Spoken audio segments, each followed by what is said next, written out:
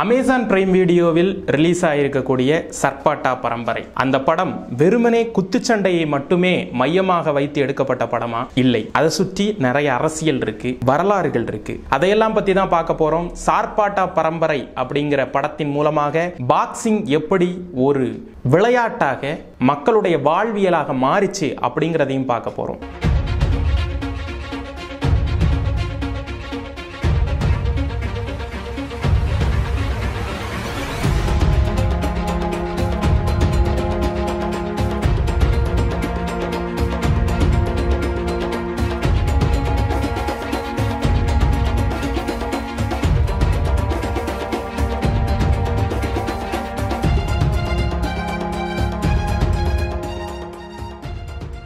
லகரம் வாய்ஸ் நேயர்களுக்கு அன்பு வணக்கங்க சர்பாட்டா பரம்பரை அப்படின்னு சொல்லிட்டு பா. ரஞ்சித் அவர்களுடைய இயக்கத்தில் இப்போ ஒரு படம் வந்து அமேசான் பிரைமில் ரிலீஸ் ஆகிருக்கு அது மிகுந்த ஒரு பரபரப்பை ஏற்படுத்தியிருக்கு சினிமா வெளியில். ஒரு படம் அதில் இருக்கக்கூடிய ஒரு விளையாட்டு அந்த விளையாட்டு சம்பந்தப்பட்டு இருக்கக்கூடிய கதையாடல் அப்படின்னு நம்ம படங்கள் நிறைய வந்துருச்சு.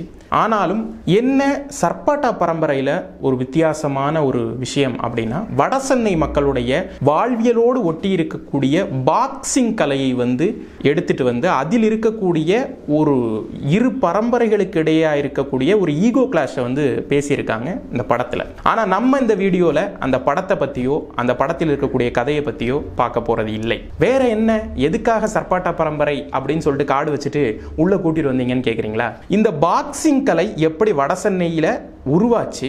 அது எப்படி அழிஞ்சுது? இதுக்கு இடையில நடக்கக்கூடிய சுவாரஸ்யமான அரசியல் சம்பவங்கள் அதன் பிறகு நடக்கக்கூடிய அந்த கலையை ஒட்டி இருக்கக்கூடிய அரசியல் நிகழ்வுகள் இதையெல்லாம் பத்தி தான் பார்க்க போறோம். முதல்ல இந்த பாக்ஸிங் அப்படிங்கிற ஒரு விஷயம் வட சென்னைக்குள்ள எப்படி வருது அப்படின்னு நீங்க பாத்தீங்கன்னா உங்களுக்கு எல்லாமே தெரியும் வெள்ளைக்காரர்களுடைய கோட்டையாக இருந்தது மெட்ராஸ்.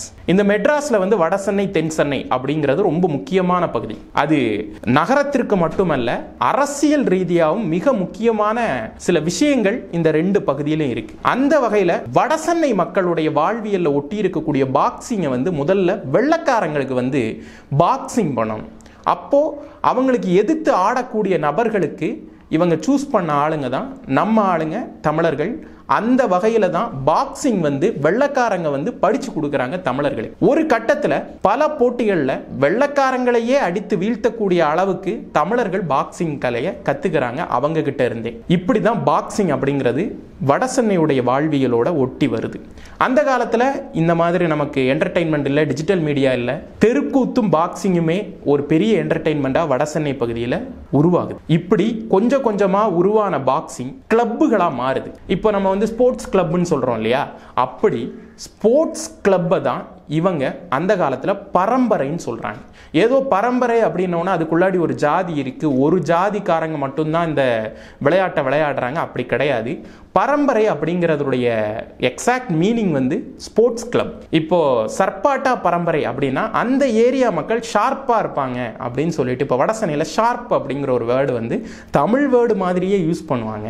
ஷார்ப் அப்படின்னா ரொம்ப அப்படி டக்குன்னு ரியாக்ட் பண்ணக்கூடிய நபர்கள். அப்படி இருக்கக்கூடிய ஆளுங்க அப்படிங்கிறதுனால தான் அந்த சர்பாட்டா பரம்பரை அப்படின்னு சொல்லிட்டு அவங்க கொண்டு வர்றாங்க. இந்த சர்பாட்டா பரம்பரை எங்கேருந்து இருக்காங்கன்னா ஹார்பர் மெயின் கேட்ல இருந்து திருவற்றியூர் பகுதி வரை இருக்கக்கூடிய மக்கள் தான் இந்த சர்பாட்டா பரம்பரை மக்கள். இந்த சர்பாட்டா பரம்பரையில் மோஸ்ட்டாக வந்து ஃபைட்டர்ஸ் எல்லாம் பார்த்தீங்கன்னா மீனவர்களாக தான் இருக்காங்க.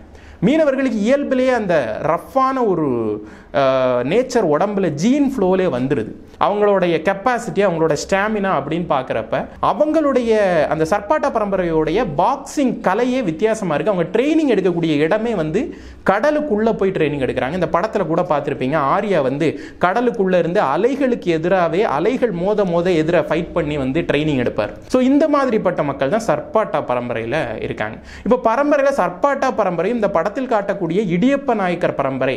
அப்படிங்கிறது இடியப்ப நாயக்கர் பரம்பரை அப்படின்னா அது வந்து ஒரு ஜாதி அப்படின்லாம் கிடையாது. அதுக்குள்ள எல்லா ஜாதி மக்களும் இருக்காங்க. ஜாதி வேற்றுமை இல்லாமல் இருக்காங்கங்கிறது ரொம்ப முக்கியமான ஒரு விஷயம். உள்ள வந்து எல்லா பரம்பரையும் எந்த படிநிலைகள்லையும் வேற்றுமைகள் இல்லாமல் அந்த காலத்தில் இந்த கிளப் எல்லாம் நடத்தியிருக்காங்க. அதுதான் இந்த பரம்பரை அப்படின்னு சொல்ற அந்த ஸ்போர்ட்ஸ் கிளப் அப்படிங்கிற அந்த பரம்பரையுடைய பின் இருக்கக்கூடிய ஹிஸ்டரி இப்போ இந்த ரெண்டு பரம்பரை தான் இருக்காங்களா அப்படின்னு கேட்டால் கிடையாது. நிறைய நிறைய பரம்பரைகள் சென்னையில் வந்து பாக்ஸிங்கில் ஈடுபட்டிருக்காங்க.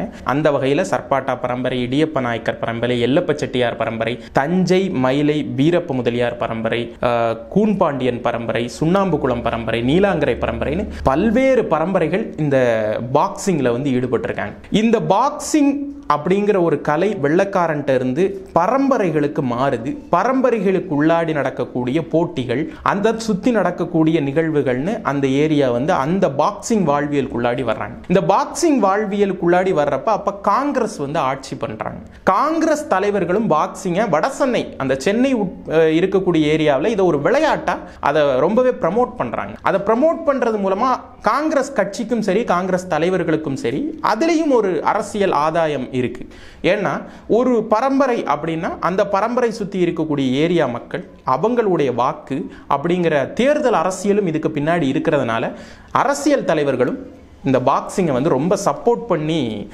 இன்க்ளூடிங் காமராஜர் கூட இதெல்லாம் சப்போர்ட் பண்ணி கொண்டு வந்ததை பார்க்குறோம். ஆயிரத்தி தொள்ளாயிரத்தி எழுபத்தி ஐந்திலிருந்து எழுபத்தி ஏழு எமர்ஜென்சி பீரியடில் இந்த அரசியல் சூழல்கள்லாம் மாறுது. திமுக கைவசம் திமுக ஆதிக்கம் செலுத்தக்கூடிய சென்னை மாகாணத்தில் இந்த பாக்ஸிங்கை வந்து திமுக சப்போர்ட் பண்ணுறாங்க பெரிய லெவலில் இந்த படத்தில் கூட பார்த்துருப்பீங்க பசுபதி அவர்களுடைய கேரக்டர் ஒரு திமுக நிர்வாகியாகவே வர்றார். அந்த மாதிரி திமுக கையில் இந்த பாக்ஸிங் வந்து பெரிய அளவில் பாக்ஸஸ் உடைய சப்போர்ட் வந்து திமுக வந்து கேதர் பண்ணுறாங்க அதுக்கான பொலிட்டிக்கல் பேக்கப்பும் வந்து பாக்ஸிங்கை ஓடி ஒட்டி அந்த தேர்தல் அரசியலும் நடந்து வருது. இதுக்கு பிறகு நடக்கக்கூடிய நிகழ்வுகள் தான் இந்த பாக்ஸிங் அப்படிங்கிற கலை தமிழ்நாட்டில் அதுவும் ப்ரொஃபஷனல் பாக்ஸிங் ப்ரொஃபஷனல் பாக்ஸிங்னா முகத்தில் குத்துறது. இப்போ ஆங்கிலேயர்களுடைய பாக்ஸிங் முறைகள்லேயே வெவ்வேறு முறைகள் இருக்கு. இதில் ப்ரொஃபஷனல் பாக்ஸிங் அப்படிங்கிறது பஞ்சஸ் எல்லாமே ஃபேஸ்க்கு தான். பாடிக்கு கிடையாது. ஸோ பஞ்சஸை வந்து ஃபேஸ்க்கு கொடுக்குறப்ப அதுக்குனுடைய அதனுடைய அந்த விளையாட்டுடைய இன்டென்ஸ் அப்படின்னு சொல்கிறாங்களே விளையாட்டுடைய அந்த சூடு அது வந்து இன்னும் அதிகமாகுது. ஆக்ரோஷமான ஒரு விளையாட்டாக இந்த பாக்ஸிங் வந்து மாறுது.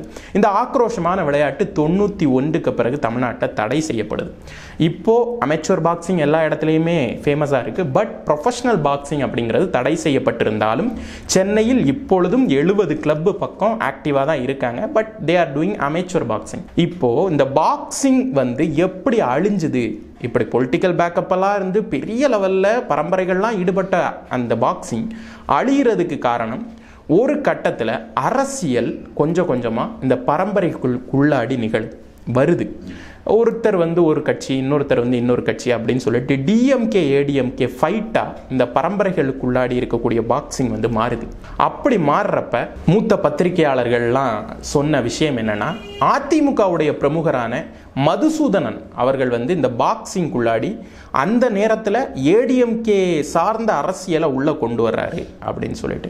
அப்போது அங்கே இருக்கக்கூடிய ஒரு பாக்ஸர் வடிவேலு அப்படிங்கிறவர் வந்து ஒரு பிரதானமான பாக்ஸராக இருக்கார். அவர் ஒரு டாமினேட்டிங் பாக்ஸராகவும் இருக்கார்.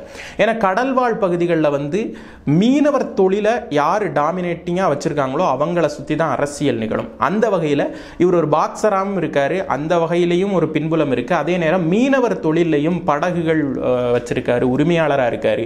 கொஞ்சம் இல்லீகல் ஆக்டிவிட்டீஸும் இவர்கிட்ட இருக்குது கொஞ்சம் கடத்தல் ரீதியான விஷயங்களும் பண்ணிகிட்டு இருக்கார். அப்படி இருக்கக்கூடியவரை வந்து தன்னுடைய பக்கபலமாக வச்சுக்கிறாரு மதுசூதனன். அவர் மூலமாக இந்த பாக்ஸஸ் எல்லாம் கொஞ்சம் கொஞ்சம் கொஞ்சமாக ரவுடிகளாக மாற்றப்படுறாங்க. ஒவ்வொரு பாக்ஸருக்கு பின்னாடியும் பல மர்டர் கேஸுகள் உருவாக்கப்படுது. இது அரசியல் ரீதியான கொலைகளுக்காக இவர்கள் அடியாட்களாக பயன்படுத்தப்பட்டிருக்காங்க.